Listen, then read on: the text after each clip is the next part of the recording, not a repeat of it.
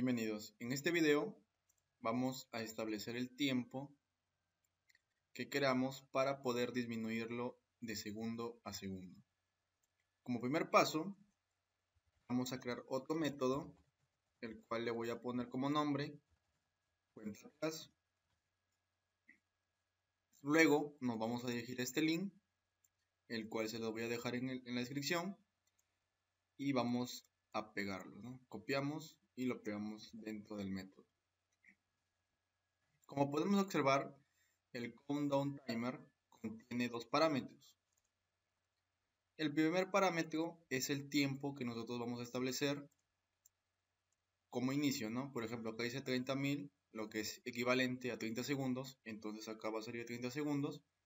Y como segundo parámetro es el intervalo, que en este caso dice 1000 lo cual equivale a un segundo, entonces quiere decir que el tiempo va a iniciar en 30 segundos, el cual va a ir disminuyendo de segundo a segundo, como bien dice aquí. Dentro podemos observar que tenemos dos métodos. Tenemos el onTick, tenemos el onFinish y aquí tenemos el onStart que es la que va a inicializar todo esto. Cabe mencionar que el onTick se va a ejecutar de segundo a segundo. Entonces, esto quiere decir que este código va a ser posible que disminuya de segundo a segundo el tiempo que hemos definido aquí. Para esto, como es tiempo, vamos a, vamos a declarar un long, el cual le voy a poner como nombre segundos restantes, el cual va a ser igual a este parámetro 20.000. Seguido eso, vamos a irnos a nuestro view tiempo, que es, si podemos comprobar, es aquel que se ubica aquí. Vamos a setear el dato en ese TextView. Entonces ponemos que ese text y vamos a decir que los segundos restantes, obviamente esto va a equivaler a 29, luego se va a ejecutar nuevamente, esto va a ser equivalente a 28, nuevamente se ejecuta, ya que vamos a ponerle en comentario, se ejecuta cada segundo. Ahorita vamos a ver cómo funciona. Entonces vamos a poner aquí segundos restantes. Va a ser equivalente a esto. Y vamos a concatenar con una S. Esto de acá se va a representar, ¿no? Por ejemplo, decir 29S, 28S, haciendo referencia a los segundos. Esto podemos borrarlo. Una vez llega a finish, vamos a poner aquí que esto es cuando se acaba el tiempo. Vamos a decir el tiempo del text view simplemente setee a un 0 segundos. Y ahora, para finalizar, Vamos a copiar este método y lo pegamos. Y vamos a esperar que ejecute el juego. Haciendo un resumen, este método para retroceder el tiempo hemos hecho la utilización del countdown timer que recibe dos parámetros. El primer parámetro es el tiempo establecido, en este caso son 30 segundos, y el segundo parámetro es el intervalo con el cual va a ir disminuyendo.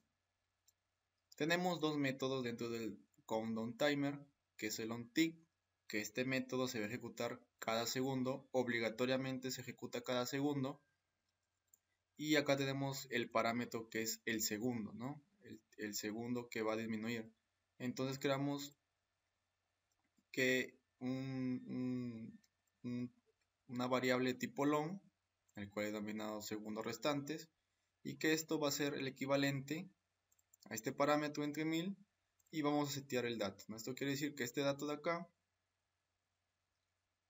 va a ir disminuyendo de segundo a segundo y se va a ir seteando en esta variable de tiempo. Una vez que termina el tiempo, se ejecuta aquí este método de onFinish y ahora esta variable, este, este TextView toma lugar y le pone, bueno, le establece 0 segundos.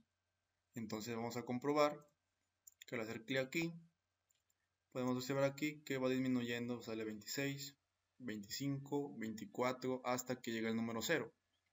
Entonces, ¿qué se está ejecutando aquí?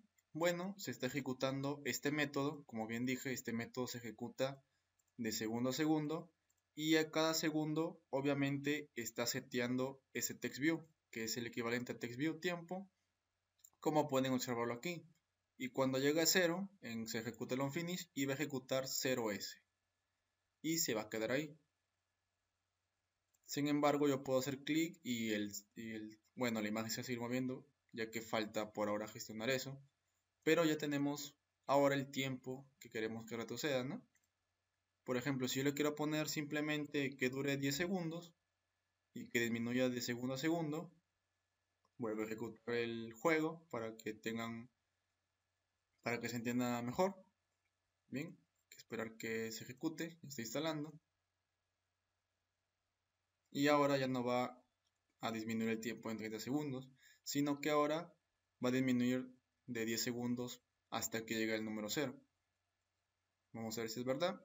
Como pueden observar, empieza ya desde el segundo 10. Y vamos a esperar a que termine para que se ejecute 0S. Bien, y ahí termina. Bien amigos, esto trata el countdown timer. Hemos llegado al final del video. Si entendiste, puedes darle like. Puedes suscribirte también a mi canal, que es una forma de ayudarme y nos estamos viendo en el próximo video. Muchas gracias.